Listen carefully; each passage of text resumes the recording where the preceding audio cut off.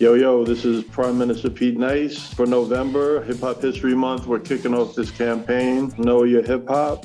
And we're basing this campaign on the actual relics and documents that serve as kind of like the official record of hip hop going back to the earliest days, the party flyer. The first flyer that we picked, we didn't even realize the significance till after we saw it like the second or third time. It's a party in Brooklyn at the Galaxy Ballroom in Bed-Stuy. You have Dr. Rock from the Force MCs.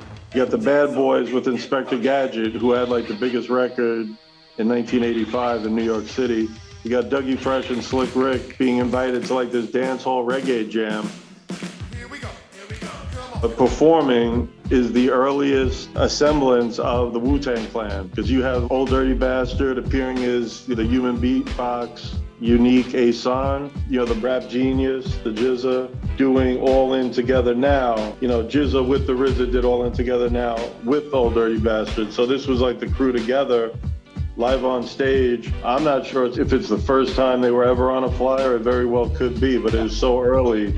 1985. It's one of the rarest and most significant documents, especially with Wu Tang. So you get to get the nitty gritty of hip hop history looking at the flyer.